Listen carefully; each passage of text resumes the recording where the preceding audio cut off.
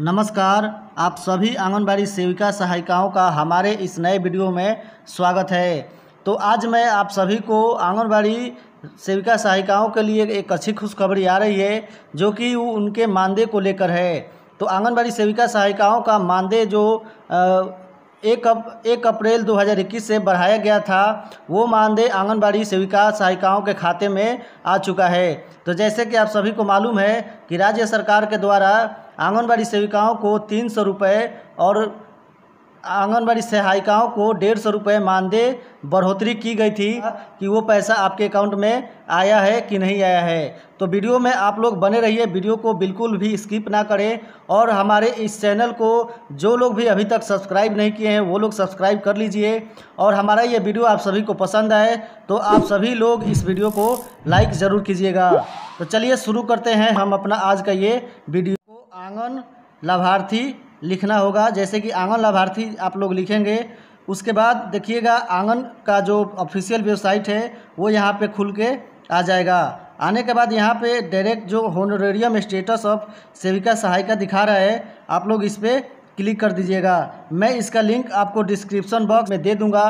वहाँ से जाके आप सभी लोग इस लिंक पे क्लिक करके डायरेक्ट आँगन के जो ऑफिशियल वेबसाइट है, उस पर आप लोग पहुँच सकते हैं। तो चलिए, मैं आपको यहाँ पे एक आंगनबाड़ी सेविका का स्टेटस चेक करके दिखाऊँगा और मैं दो तरीक़ों से चेक करूँगा कि उनका पैसा कितना आया है। यहाँ पे तो सिर्फ़ आपको दिखाएगा कि पैसा आपके अकाउंट में भेज दिया गया है। ऑफिशियल वेबसाइट ओपन हो चुका है। तो सबसे पहले हमको यहाँ पे फाइनेंशियल ईयर सेलेक्ट करना होता है। जैसे कि यहाँ पर जो फाइनेंशियल ईयर दिखा रहा है, यानी कि वित्तीय वर्ष उसको यहाँ पे 2021 और 22 लिखना सेलेक्ट कर लेना है। 21 और 22 इसलिए सेलेक्ट करना है क्योंकि जो वित्तीय वर्ष का महीना होता है, वो अप्रैल से लेकर अप्रैल तक माना जाता है। तो इसलिए अब 2021 और 22 सेलेक्ट करना होगा। उसके बाद यहाँ पे अपना डिस्ट्रिक्ट सेलेक्ट कर लीजिएगा। तो आप जहाँ से हैं जिस डिस्ट्रिक्ट से हैं वो अपना डिस्ट्रिक्ट सेलेक्ट कर लीजिएगा। उसके बाद यहाँ पे जो आपका प्रोजेक्ट है यानी आपका जो भी परियोजना पड़ता है उसको यहाँ से सेलेक्ट कर लीजिएगा। फिर यहाँ पे जो आ, सेक्टर है आप लोग जिस सेक्टर से हैं वो अपना सेक्टर सेलेक्ट कर लीजिएगा। या जो आंगनबाड़ी केंद्र का नाम है वो अपना यहाँ से आप अपने केंद्र का नाम सेलेक्ट कर लीजिएगा। और फिर उसके बाद यहाँ पे डिजिग्नेशन में आपको अपना पद चुनना है कि आप अपना सेविका का मानदेय चेक करना चाहते हैं या सहायिका का मानदेय चेक करना चाहते हैं। तो यहाँ पे मैं एक सेविक सेविका का मानदेय चेक करके दिखाऊँ कि यहाँ पे जो सेविका का स्टेटस है, यहाँ पे ओपन हो चुका है। जो उनका मानदेय का स्टेटस है, यहाँ पे देख सकते हैं आप कि यहाँ पे जो महीना दिखा रहा है, अप्रैल और मई, दो महीनों का पेमेंट उनके अकाउंट में आ चुका है। तो जैसा कि देख पा रहे होंगे कि इनके अकाउंट में पेमेंट आ चुका है, जो कि दो पेमेंट है, अप्रैल और मई का। देखिए, यहाँ पे 19 आठ 2021 को पहला पेमेंट आया है अप्रैल का, और 24 आठ 2021 को दूसरा पेमेंट आया है, जो कि मई का है। यानी कि दो महीनों का पेमेंट इनके अकाउंट में आ चुका है। तो चलिए, अब मैं आपको दूसरे तरीके से इनका पेमेंट चेक करके दिखा दे रहा हूँ कि उनका पैसा जो तीन सौ रुपये बढ़ाया गया है, वो इनके अकाउंट में बढ़ के आया है या नहीं आया है। तो चलिए, वीडियो में आप लोग बने रहिए, वीडियो को बिल्कुल भी स्किप ना करें। तो देखिए, मैं यहाँ उमंग ऐप पर आ चुका हूँ। ये इस ऐप से आप लोग किसी भी डीबीटी के माध्यम से आया हुआ पैसा आप लोग आसानी से चेक कर सकते हैं। तो मैं इसका भी लिंक आपको डिस्क्रिप्शन बॉक्स में डाल दूँगा। वहाँ से आपको ये उमंग ऐप इंस्टॉल करना पड़ेगा और इसका मैंने एक सेपरेट वीडियो बना दिया है।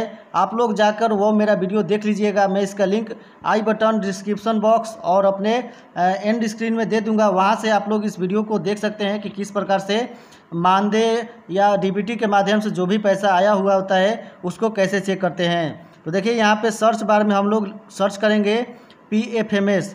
P F M S जैसे ही सर्च करेंगे, उसके नीचे यहाँ पे नो योर पेमेंट का ऑप्शन आएगा, इस पर हमको सेलेक्ट कर देना है।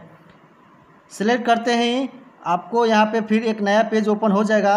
यहाँ से आप अपना अकाउंट नंबर, बैंक नेम और मोबाइल नंबर डाल के आप अपना पेमेंट का स्टेटस चेक कर सकते हैं। तो चलिए यहाँ पे मैं एक आंगनबाड़ी सेविका का पेमेंट चेक करके दिखा दे रहा हूँ आपको। तो देखिए, यहाँ पे हमने अकाउंट नंबर, बैंक नेम और मोबाइल नंबर डाल दिया है। डाल, डालने के बाद यहाँ पे सबमिट का ऑप्शन जो दिखाई दे रहा है, हमको सबमिट वाले ऑप्शन पे क्लिक कर देना है। क्लिक करते हैं, यहाँ पे कुछ ऑप्शन दिखाई देगा, जिनके नाम से अकाउंट रहेगा, उनका यहाँ पे नाम शो हो जाएगा।